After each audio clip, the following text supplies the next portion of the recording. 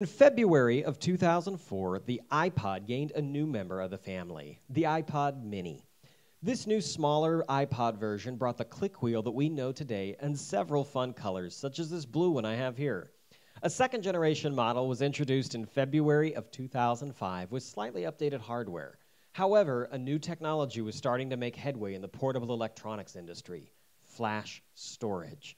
It wasn't long until rumors pointed to a new iPod mini model that would feature flash storage instead. And on September 5th, 2005, Apple held a keynote address titled It's Showtime.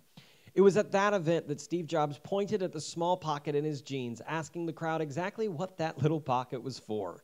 That morning, the world met the newest member of the iPod family, the iPod Nano. Today, we're looking back at all seven models of the iPod Nano, one of the most interesting product lines Apple ever sold. The first generation brought significant upgrades over the discontinued iPod mini introduced just a few months earlier.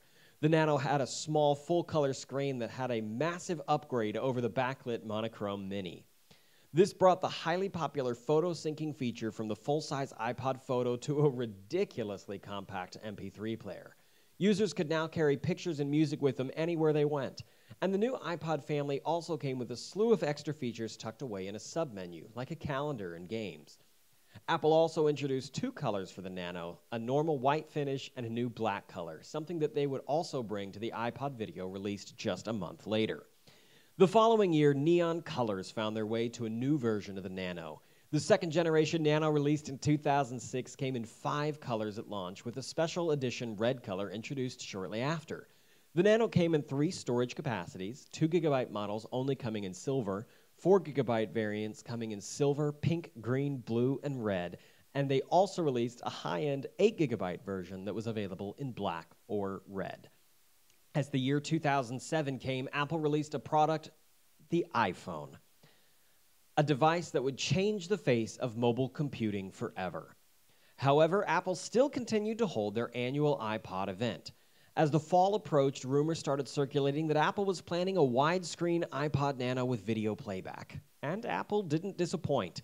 In September of 2007, the iPod Nano third generation featured a complete redesign of the product. This new Nano came in two storage variations a silver 4GB model and a more mature, somewhat less in your face color lineup for the 8GB model. It still came in the standard black and silver, but also featured blue, green, and red with a special edition pink color being added just before Valentine's Day in 2008. In August of 2008, rumors started to suggest that a new Nano was once again on the way, this time returning to its former design but carrying on the same screen as the third generation. In September of 2008, Apple released a fourth generation of the iPod Nano, now featuring nine bold, colorful cases.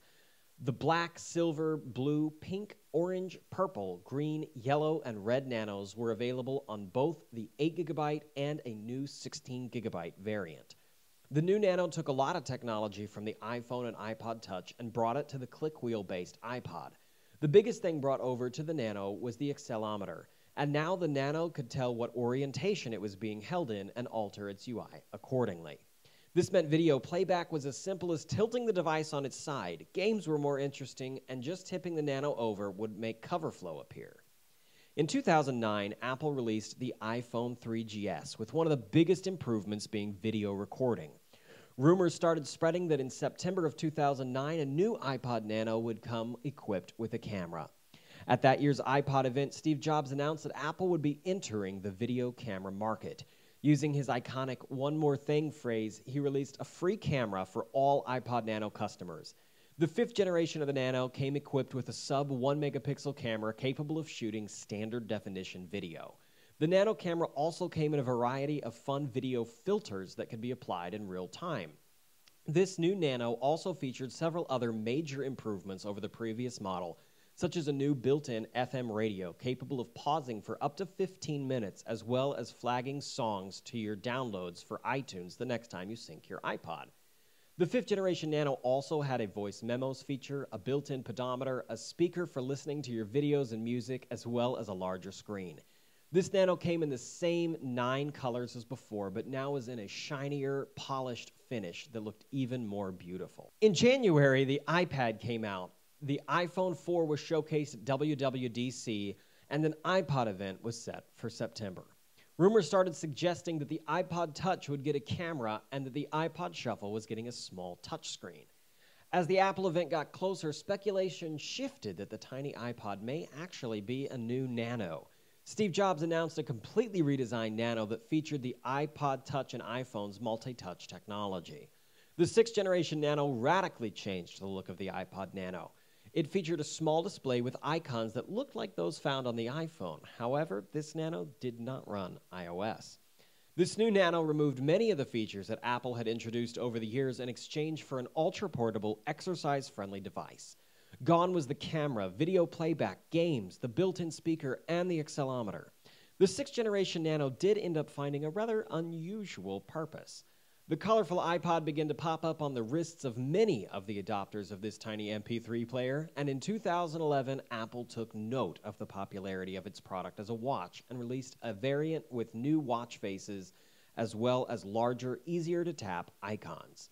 This Nano came in 8 gigabytes or 16 gigabytes and featured seven colors silver, gray, blue, pink, orange, and product red. After 2011 bringing nothing more than a software update, rumors pointed to another complete redesign of the iPod Nano. In September of 2012, Apple would release new iPods as part of the iPhone 5 event, and the seventh generation Nano brought back many features that had been lost in the previous model. The biggest returning feature was video playback. However, this new Nano looked less like the old Nanos and more like a shrunken down iPod Touch. The Nano did have a new volume rocker inspired by the iPhone's headphone controls. The center button allowed users to quickly change songs without turning on the display. This new Nano was also the only non iOS based iPod to feature Bluetooth support.